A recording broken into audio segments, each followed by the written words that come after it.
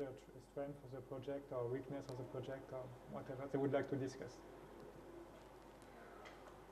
Maybe you could copy the, for example, all the strengths, Yeah. uh, put them uh, at the beginning of the document, and review them together.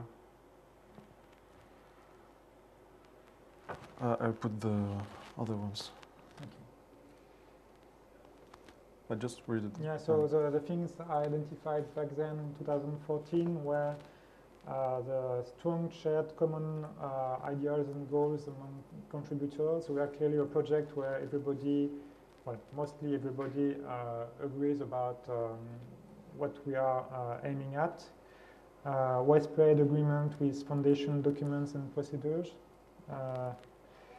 Everybody cares about Debian and likes it. If you talk to the outside world, I mean outside Dev, DebConf, um, lots of people are really big fans of Debian, even when they're not using it.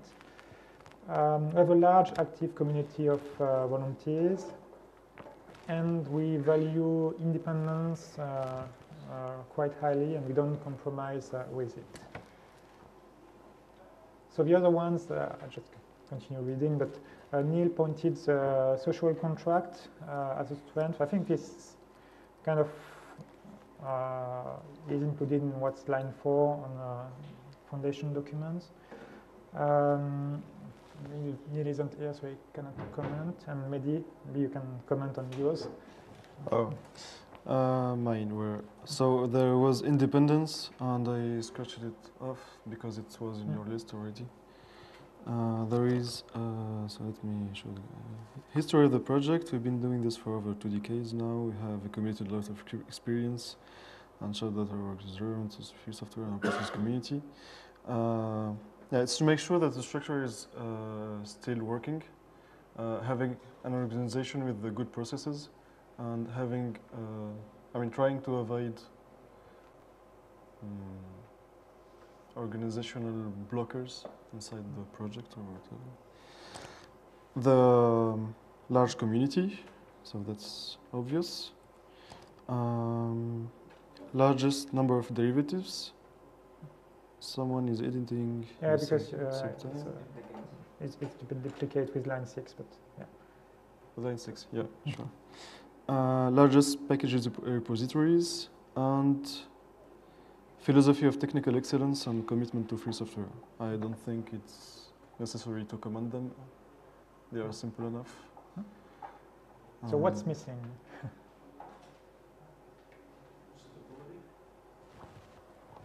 Microphone. Wait- Wait for the microphone because we had, we have had several people asking for uh, audio during the, the BOF. Uh, Oh yeah, start there. Okay.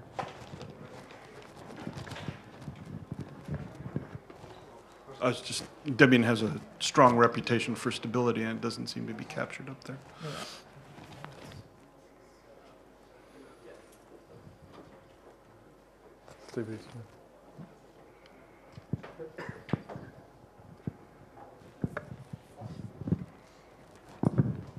Did you? I think a strength of the Debian project is also it's non-binding to corporations. The Independence. Independence. Okay. Yeah, it was listed already. Actually, you like repeating things. That's great. I mean, you- Yeah, it's just a way to get it in my mind. It's still early morning, no? yeah. Is that a sub item? Do you see it as a sub item of independence? Is it right? Maybe we could, uh, yeah, um, detail in which way we are Mm. independent. Uh, we are also financially independent, not only about our goals, but uh, in our philosophy and our finances.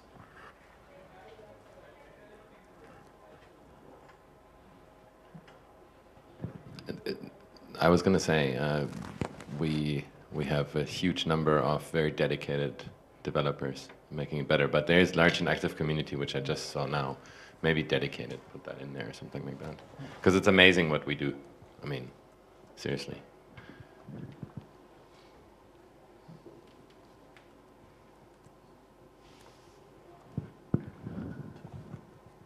go to the opportunities.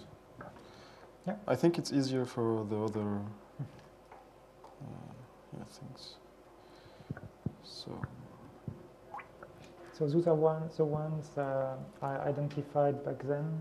Uh, one, the first one is uh, the fact that we are one of the few remaining large community projects, like I would say true community projects. There are many other free software projects that are kind of polluted by uh, uh, by companies, and I don't see this uh, that uh, well that much uh, present in Debian. We have, of course, ma many developers uh, employed by companies to work uh, on Debian, but still they mainly contribute. Scroll down. Oh, sorry, I don't have the right resolution. Okay. Um, yeah, uh, they, they contribute to Debian with their uh, Debian hat and um, not with their, say, Collabora hat uh, or whatever other company you can put, uh, uh, or HP or whatever. Uh, the second one was the um, the, the general post-Snowden hostility towards some big corporate players were clearly seen as uh, being independent for all those big uh, uh, players. Uh, and cloud services, that was I think it was mine. Uh, Niels, I didn't copy them uh, because it's only about strengths and weaknesses. They, he didn't do opportunities. Sorry? Neil. Okay, yeah. Yeah. yeah. Uh, cloud services about. Um, so, yeah. Zach made a talk at DebConf uh, 14, if I recall correctly, about uh, what is the defini- definition of uh, free services, cloud services. And he made a point about all the computing uh, moving from workstations to the cloud. And the uh, question was about uh, how to make sure that people still use free things there, what is about free services, and also how to make sure that we are still relevant. Like for example, uh, so there is the ownCloud service. I'm not saying particularly that we should uh, package it or something, but just it's something that exists. Uh, it's not packaged today in Debian, and it got removed for some reasons.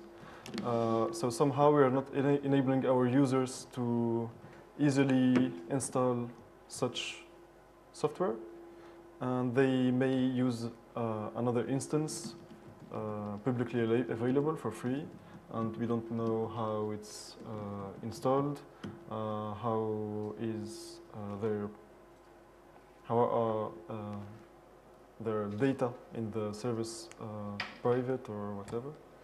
So the subject was about uh, be made, making sure that um, we are working on uh, uh,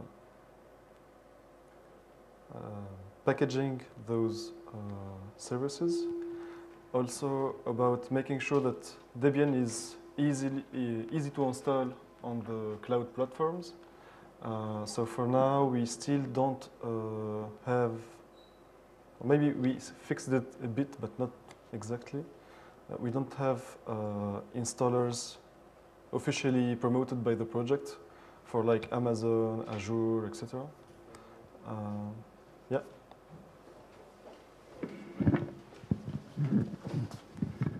But are installers needed for Amazon or Azure? You just take image like AMI or some Google Cloud image or uh, or uh, Azure image, Yeah. uh, like image of existing already installed uh, Debian uh, Okay, sure. installation, and and you just use it. You About Amazon, for example, I know Yeah. that there are multiple AMIs. yeah. And so, which one do you pick? Which one has been promoted by the project? Which one you? Uh, we have sure. Debian images. I'm not sure whether they are officially blessed, but they are named Debian with Yeah. Debian swirl and, and on stuff. our download page, uh, Ah, we only advertise uh, ISO images and not the cloud things yet. yeah. So yeah, they're on the wiki, but Okay, so I, when I'm using Debian on EC2 on Amazon, I I usually click uh, create new instance and go to marketplace, uh, put Debian and uh, and and just and, just start this Debian image. So, but at the same time. Uh, uh, I was today at the uh, Azure presentation, and they uh, collaborate. They are doing something really interesting, like preparing uh, every day, building new uh, Amazon, uh, new new uh, Debian. Uh, Debian images for Stretch, for Wheezy, and for and for Jessie, which is not the case, for example, for for uh, EC2. For EC2, we only get new new images when uh, when we release uh, new um, sub-release, for example, 8.5 or something like this. So th- this means that we uh, and also we don't get uh, relevant testing images in EC2 Mm. which means that uh, working with uh, testing some of the new packages on Amazon is quite different, Mm. uh, quite difficult. I'm, Yeah. I'm not sure what's the case in with Google. Yeah, I- think we agree on the technical status. My main action was about this one. It's Right. about advertising Ah, yeah. uh, So what it's being done Mhm. and make sure it, uh, it's uh, on the official download image, uh, uh, download Yeah. page, and not on some wiki page. Okay, uh, uh, th- there will be both uh, for the cloud Yeah, in uh, two yeah, hours or something like this. And I know Steve is working on that uh, with his CD image hat Yeah, to make sure that the cloud uh, OpenStack uh, images are being built by the s- official Yeah. Okay. infrastructure. Yeah, that's also the question. I'm not sure what's the current status uh, about that, but uh, at some point uh, it was quite so was a quite, quite difficult discussion about what does Debian image mean on such public clouds, and what's what are you allowed to include in the image by default, uh, even if it's not in uh, stable releases. I think uh, there is I um, think no a page now which uh, gets the um, uh, the criteria to Yeah, but to is it applied to each and every uh, public cloud we have images for? I'm not so sure. I think yeah. I mean, for now we don't advertise uh, public. I mean, uh, official images. Hmm. So yeah, maybe Yeah. maybe it's uh, applied, but uh, we don't know yet. Yeah, sure. Maybe I should put the link about that. Mm. yeah, maybe just go on with because yours, the next item is yours as well. I- I'll put the link. Uh, yeah, the other one. Yeah, it's only not only about French Arabic uh, speaking countries actually. It's uh, about uh, also Asia, uh, Africa, user from Africa or Latin countries, etc. Make sure that, for example, we go there, make uh, some talks. Uh, I mean, the project can fund that. Uh, so we have some representativity. We have our uh, project um, uh, presented in conferences there. I know that a few developers go to um, FOSS Asia, which is great, and we should be doing that for other conferences. It's a promotion effort, basically. What do you see as the main blocker for improving? Just because while going to conferences is nice, but uh, it seems to me that at least when I got involved, the main way people got involved was by because one of their friends uh, was involved in Debian. Yeah. yeah. So it's quite hard to just uh, bootstrap uh, a new geographical location just because you have nothing there. But at least where, where you go, when you go there, you have the opportunity to meet people. Mm. So you can encourage them to, I mean, talk to you even by mail then later, and mentor them. Yeah.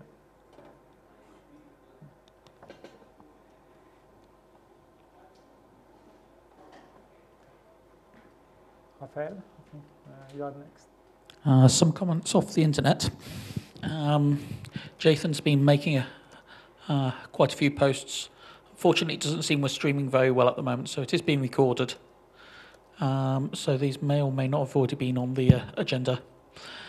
Uh, continuing the definition of free software, uh, promote its work within Debian, retaking Zach's talk in Debian, DC17, Debian in the dark ages of free software.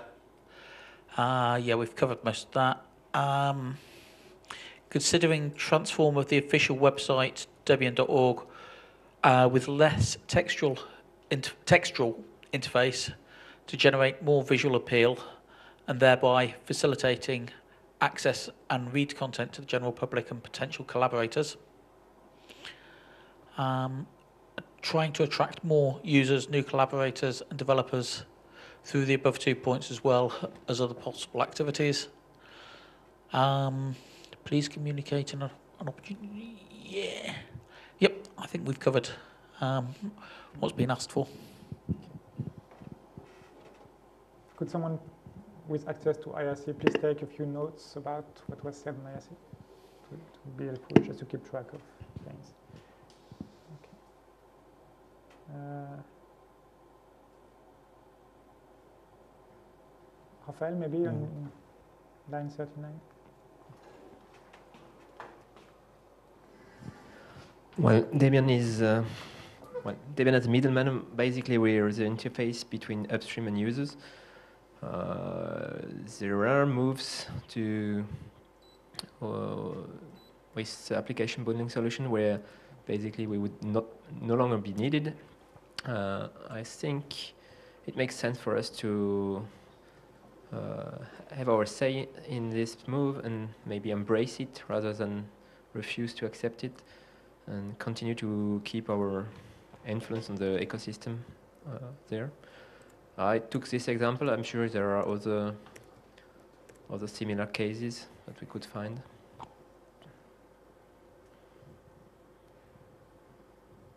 Uh, well, we have at least uh, our upstream guide, which is sort of uh, our of- official rep- uh, recommendations for upstream developers.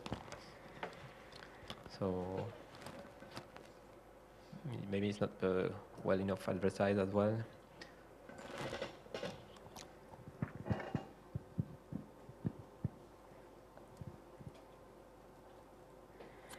Okay. Um, so I tried to identify actions. I mean, to do and uh, to act on the opportunities, um, like doing some advertisement work for the cloud services or images, etc.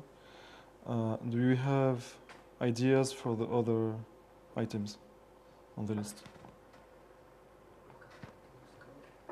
Also.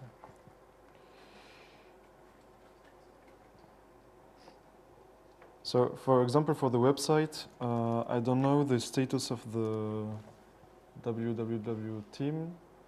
Maybe Paul knows about it.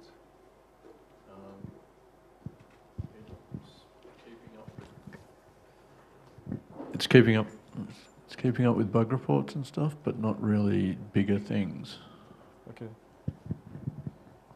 So basically, nobody is blocking it. We are just looking for volunteers to do the work, like converting the CVS stuff to Git, which has been on the to-do list for years, but nobody was.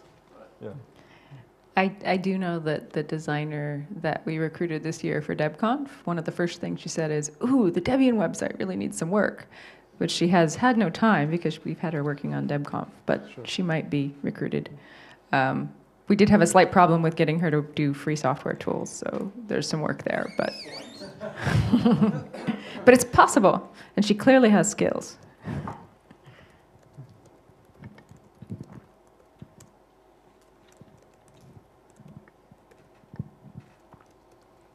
So about uh, new contributors from uh, countries outside North America and Europe, maybe that's something that should be more widely announced. I mean, a sponsorship program for developers, for DDs to go to conferences elsewhere to give talks about Debian, tutorials about Debian packaging. Hmm. So that would, that would be a good use of, uh, probably a good use of uh, Debian money. Um, Uh, I did. do we have enough manpower if we would get, I don't know, few dozens of contributors, uh, which would need to be mentored and guided at least initially? Didier, yes. It's a luxury prob- problem to solve the day we have thousands of contributors. So I don't worry, we will find enough work for them. But sometimes it's uh, the problem is making sure that uh, people are in touch I mean, that's the those uh, the, Yes, the goal of uh, about uh, Ashish's BOF, where you have the mentors saying what they are working on in Debian, the mentees saying what are their interests in Debian, and it helped to make people yeah, make people in touch to start working. on it. And I even managed to find new volunteers for the common team, so it's really working. Mean, it's so the that group of persons, so maybe should. Um, there was the idea of um, doing a welcome team actually in Debian, which could help people uh, start doing things in Debian.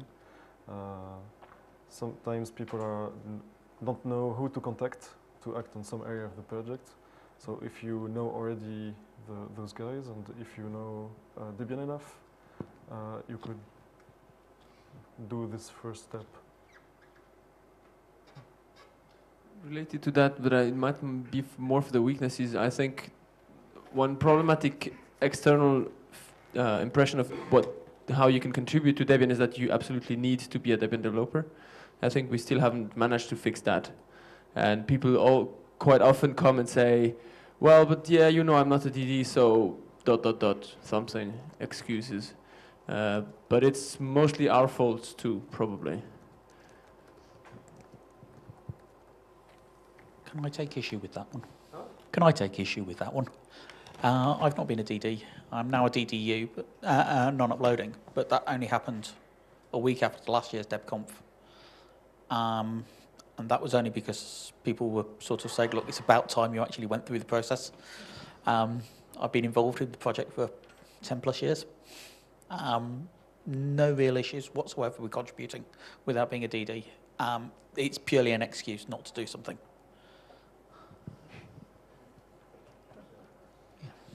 I don't think we disagree. Okay, I, I heard it as slightly differently, so my apologies. Well, well, I'm, I meant, I, I'm not saying it doesn't work. I'm saying there is an external perception that you need to have these ticks in your profile to be able to contribute. Maybe my impression of this external perception is wrong, but I, I'm glad it works. It, it works fine. Um, there's plenty of people around here today. Um, there's a lot of the local team are not DDs, and have been doing an awful lot on this um, because they've been not roped in, but it's been suggested by friends and people that have been working on it that this is really cool to work on. And becoming a DD will be further down that line, but it's not it's not necessarily seen as a, a stopping point.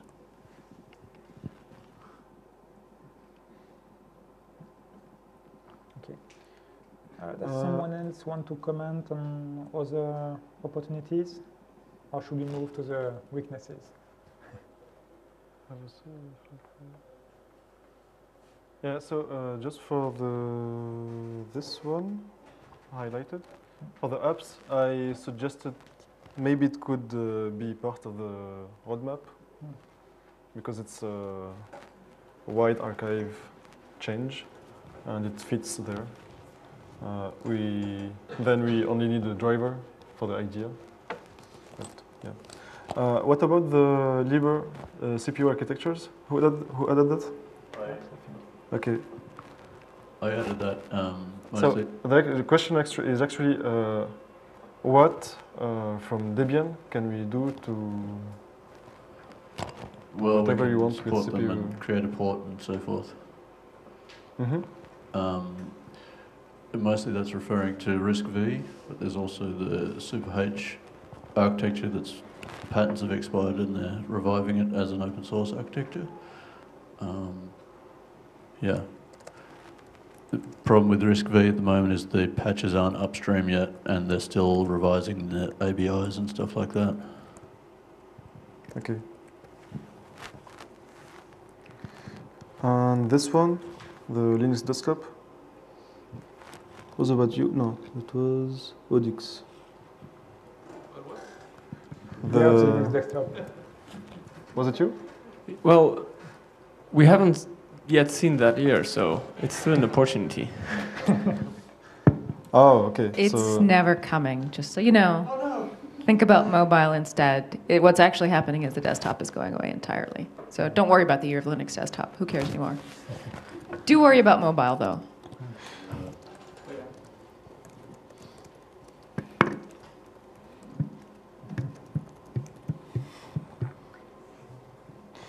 Okay.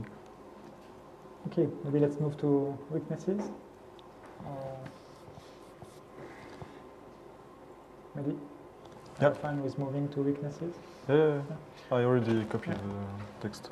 Yeah, so some of the things that were identified in the past is uh, dispersion of manpower, lack of manpower on core things, uh, lack of interest in contributors for non-technical tasks, um, fragmentation, lack of common technical practices in some areas, fact that, the fact that packaging is difficult, this limits the use of packages as a standard interface, uh, a standard software distribution mechanism. Uh, it's difficult to get started uh, as a contributor, lack of sponsor, high requirements. Uh, disconnection from upstream for many packages.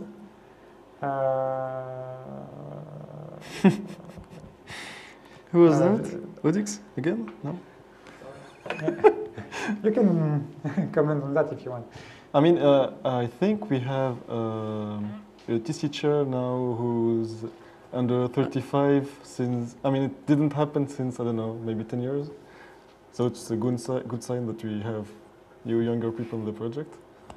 Well, it's it's kind of the usual thing is that it it's common for us to think that we're getting old and we're maybe not looking correctly and we might just be missing that the young guard is actually coming and there are actually people that are young and contribute.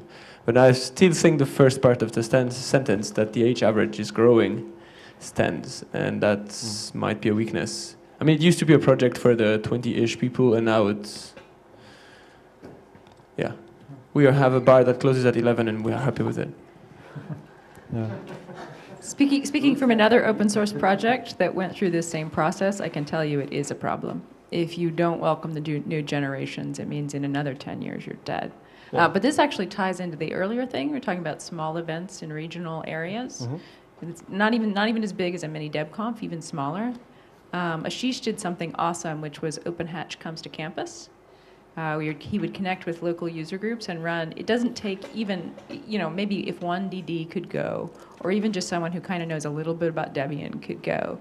Um, you can spin up these very small university events that get university students excited uh, about the project. And that's probably the best way to get very young people involved.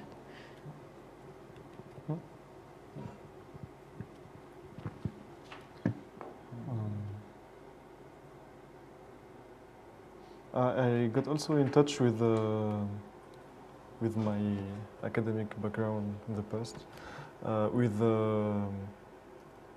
do you say uh, professor, teaching teachers uh, who wanted to do a short internship, and we could have a program uh, within Debian uh, for to have people from uh, I don't know colleges or whatever to work on small tasks and uh, could be a way to get in.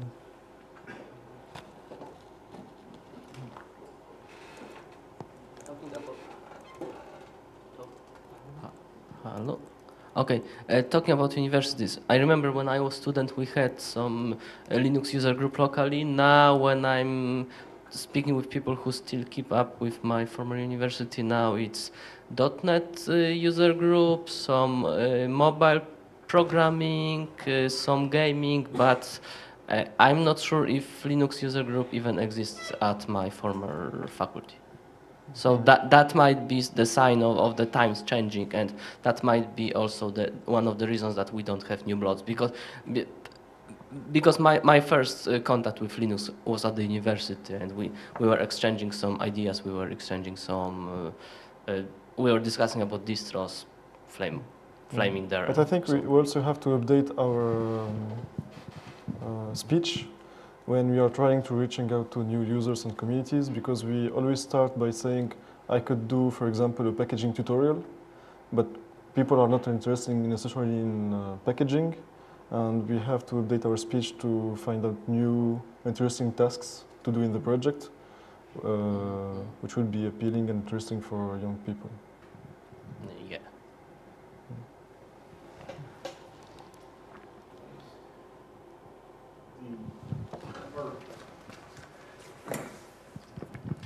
so if, if there aren't Linux users groups on campuses anymore, is it because we, it's already a done thing and it's in the, people are using it in the engineering programs, or is it not? I, yeah, I'm old enough to have a son in college, and the uh, connecting his computer to the internet, you needed Windows or or Macintosh.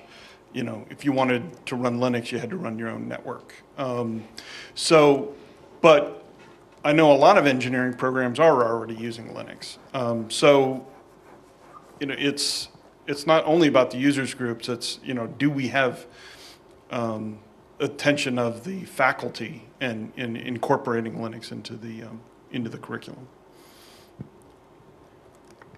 Yeah, I think that we are at, uh, at, the, at the bottom of the curve currently because I think that uh, systems, oper- operating, traditional operating systems courses are becoming a bit less relevant because nobody, well, we, there's a, not so much of a need for people with uh, such skills uh, on the market, at least probably less than uh, 10 years ago because everybody uses uh, Linux and it just works.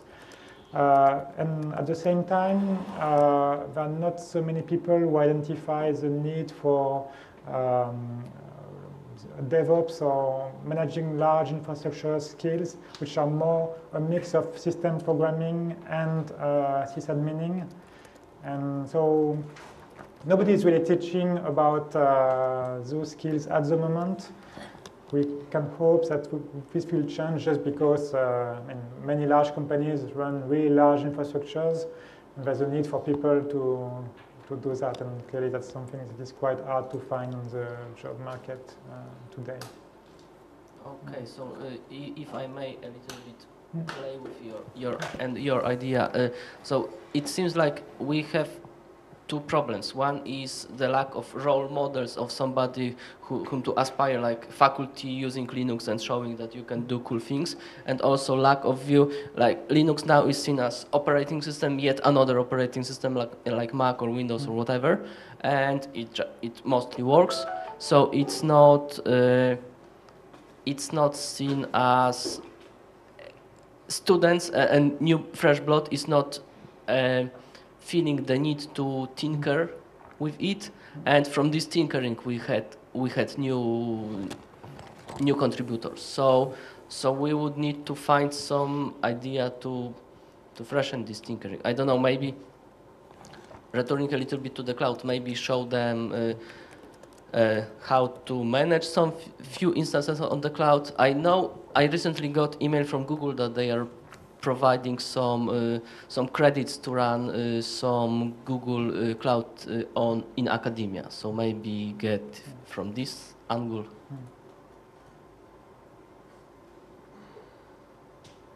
Because when it comes to to the new packaging, I'm not sure if that's really pressing issue. We have over 50,000 packages, and in my opinion, more more problematic now are orphaned or not really well maintained packages. Staying with your academia um, theme, uh, certainly in the UK, we're finding a lot of uh, the colleges are demanding submission of uh, tasks and reports in a particular system in a particular format, and they're all demanding the, the you know document in Word format or whatever. And there seems to be a lot of effort has gone in to prevent it being submitted from um, f- f- from anything other than uh, an Office 365 generated device. Um, almost as if um, I don't know, we're being carefully pushed out um, deliberately. Um, you know, the, the universities don't want to, to take a submission of an electronic document from, from OOO or, um, or, or LibreOffice. Even for PDFs, they don't accept other things. I mean, like PDFs or. Um, no, um, Okay. the, the, the, the, they've now got their plagiarism. Um, certainly, um, in the, the two universities I've, I've had contact with recently, um, demanded demand document in uh, a Word format. Um, they run it through their anti-plagiarism scripts, Um, so it's expecting Ah, okay. uh, something's particular, it then goes and processes it. Um, So what you've actually got there is freedom is being constrained intentionally to, uh, Mm. to, to, provide a service which you must go down a particular route. So they're expecting the students to be running on, on, on Windows Box or running on Mac. Yeah. So it's a tooling problem on the universities. Yeah, th- Yeah. Okay. And since their budgets are getting smaller and smaller. Well, yeah, budgets being a bit budgets being constrained, but of course Yeah. freedom is also being constrained as a result. Still, I think this issue is a bit different on the one before. The fact that people cannot uh, use uh, Linux-based systems uh, at university is one problem. The fact that um, the university isn't teaching that much about the importance of uh, Linux-based systems or Unix uh, systems is another issue. I mean, so the one you mentioned applies to everybody at university. The second one applies to computer science students.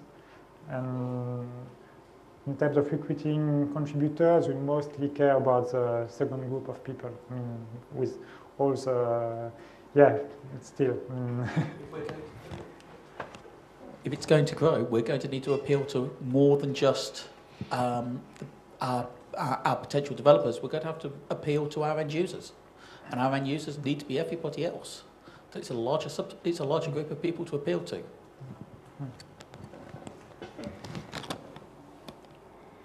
Um, can uh, Raphael comment on the before the last one? And clear decision processes or? Oh, sorry. Really? yeah, Medoc. Sorry. Um, well, kind of assumed that it's a little bit self-explanatory, especially the first one. Um, but I guess it's it's the huge picture or um, circle around um, how do we progress, how do we make progress in the project, and uh, often there come um, some uh, controversial decisions that need to be made. And uh, some teams are really good at doing that now, uh, communicating up front and then making the decision and uh, just moving forward with it. But uh, it's, it's not clear how that works, how it's expected from everyone in the project. And for instance, if, uh, if I wanted to drive a certain change in the project, it's not clear um, how I even would get to the point of identifying who can make a decision without going to a GR. Um, and I guess it ties in with the second point that I made there, um, the reluctantness towards um, entrepreneurial initiatives, um, which may well fail. Uh, I have this feeling that in, in Debian we're, we're all very protective of what we have, of our brand, of our project, of our pride and, and everything. And yet at the same time, if we don't take risks and try some stuff out, um, we, we're probably not going to be able to advance a whole lot, and I've, I've noticed a very strong decline in innovation capacity in the last uh, decade in, in Debian, and maybe that's partly related here. So, um, sort of embracing this uh, this sentiment that uh, it's okay to try something, and if it fails, then we'll just you know pick up the pieces and keep going, rather than uh, f- fearing that it might negatively affect the brand Debian, because if if we're perceived to the outside as a as a as an innovative project that tries stuff, um, I think that's going to be um, a better image Yeah, to yeah. Debian, even if some of them fail, than if it's a sort of stagnant project. So is it about promotion of individual projects? Well, pretty much anything. Um, it could. I, I was thinking when I wrote this, I was thinking about the partners program, for instance, um, where some of this entrepreneurial freedom would be um, very helpful to have. But I'm sure that it applies to many other things. You know, events. Um, probably less so the technical stuff. I mean, you're not going to be like entrepreneurial about technical innovation in some ways. Or we, we do have processes there, but there's a lot more around. Like, take for instance, uh, uh, website design. Yeah, I mean, one of the reasons why we, we we do have an updated website. It looks better than 10 years ago, but uh, um, there have been a couple of people trying to like you know make it mobile friendly, responsive design, and so on and so forth. And while I'm sure that like a lot of people will be in favor of that, the sentiment in the project, if I had to describe it like that, is more like um, very, very skeptical of the whole thing. And uh, so therefore, when somebody approaches this, they go like, ah, you know, I don't really want to touch this project even with a broomstick because I'm afraid that I'm going to get backlash. Whereas what we should have is, is a, a community where if somebody says, I want to work on the website, everybody goes like, yay, that's awesome, we're looking forward to having your designs, and then we'll provide feedback and so on. Uh, rather than, ah, you need to, Yeah, you know. we are very conservative with, with uh, what works already. Um, yeah. And that, that's also good. I'm not saying that we should like start failing Yeah, on sure, sure. everything, right? But it's true that we, when we have new initiatives, we tend to ask too much questions that um eventually uh, discourage the person who was volunteering for it. yeah. Instead of, uh, for example, making a test bed uh, so they can work on and show it to the people, they, yeah. Uh, but failure and experimentation should also follow with some post-mortem or uh, assuming that it failed or or post some roadmap for doing this. Like, like for example, we have uh, Debian Droid, which was the re- result of uh, Google Summer of Code two or three years ago, but student finished this and this application was not touched in three years already, so it's now obsolete. It uh, doesn't uh, display correctly some of the bugs, uh, and it has only below uh, 100 users. So when you put Debian into Google Play Store, it's one of first hits, and it's not really good. So. Uh, should we try to do something with it, like rewrite it with modern Android uh, uh, guidelines or uh, I guess this goes a little bit with uh, our social media presence or something like this. Because in my opinion, if it would work, it could be good, uh, good first point for somebody, some Debian user to subscribe to some bugs, to so to uh, to show what are the version of, of some interesting packages, and at the same time a little bit uh, lessen our burden on on web page because if some if somebody can look it on mobile application then then it's more modern more hip or something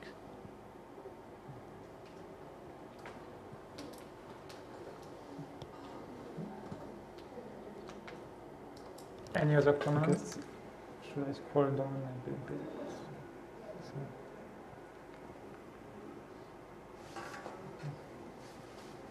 So it's okay. Yeah.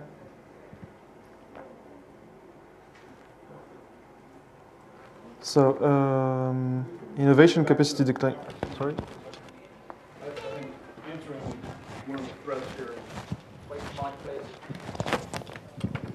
So looking at, the first thread is, uh, or second is the end of the desktop, and we already talked about cloud images. Under opportunities, I think we should talk about Debian on devices um, as a real opportunity. Um, If you look at BeagleBoard, you look at Raspberry Pi, they're, they're both using Debian today. Um, I think that's an opportunity. Um, You know, if, if you look at the display case out front, you see all those robots. I'm willing to bet they're running something, some type of embedded Linux. Um, So if, if you really think the desktop is, is diminishing, you know, you have two fronts to focus on, the cloud and devices. Um, So we should really be looking at both of them.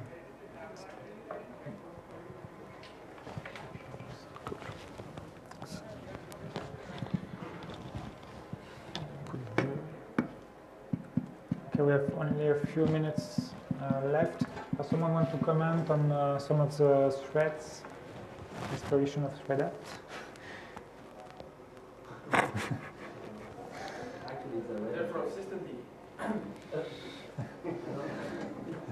Rafael, when do you want to comment about that? you have insider information that we.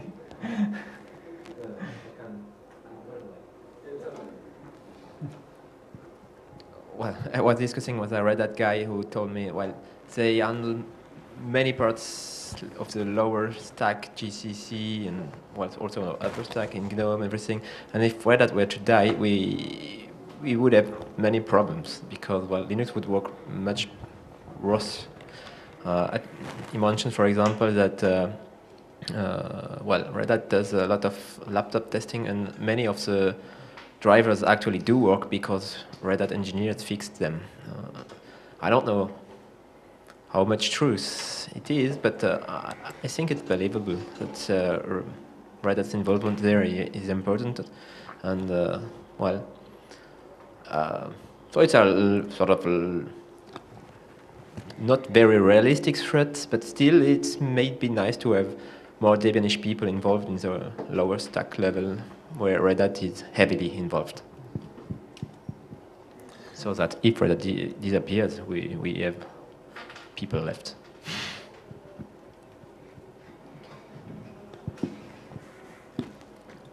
Uh, I want to comment on the on the containers as a solution to deploy applications and services. Sorry, what? Okay. Uh, which is uh, identified as a, as a threat, uh, but you could also look at it as an opportunity. Uh, at work, uh, we are maintaining so uh, a Debian derivative internally uh, based on stable. So we have the old stable releases as well as testing. And many users are asking for uh, a backport of some applications from release to an, uh, an earlier release. And uh, what we found uh, simpler is to have some process, some uh, programs to easily uh, get applications run in containers from newer stable releases. So it's technically very easy. You just have to install a chroot, install the packages there, and make uh, some scripts to run the application. Uh, so it's easy to do, and uh, it's uh, a way to say to people, okay, so if you manage to package it in, like in testing, you're not uh, forced to wait until it's released as stable to use it. You can use it from today. And we don't have such tools yet. I mean, Debian. If, so if we... One minute, okay. Yeah, I don't have anything to say more about that. But just work on some tools for con uh, around containers. It's a new technology, and we didn't uh, take uh, advantage Yeah, of it. We are only looking at it as a threat, but it could be an opportunity to make things simpler to distribute. I think that generally we are not really em- embracing all the new ways to distribute software uh, up to their potential. I mean, one thing that is clearly changing is that uh, people want to use different versions of software and just use backports and everything. And backports are not really uh, a solution because uh, most of the packages in Debian don't have backports. Uh, uh, one idea I've been playing for, for I've been have head for a long time is uh, uh, trying to do uh, automatic backporting. I- wonder how many of our packages would just work if we just build them on the for the target distribution and provide them as a untested stuff to users. Uh, most of our users just uh, do that from source, and we are out of time, so I'm stopping there. but that's something that, uh, well, if you're interested in working on that, uh, I'm interested in talking to you. Thank you. Well, thank you.